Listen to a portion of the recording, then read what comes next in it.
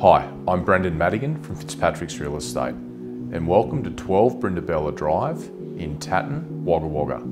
If you're in the market for a stunning family home with an amazing view, and call me today to come and check this one out.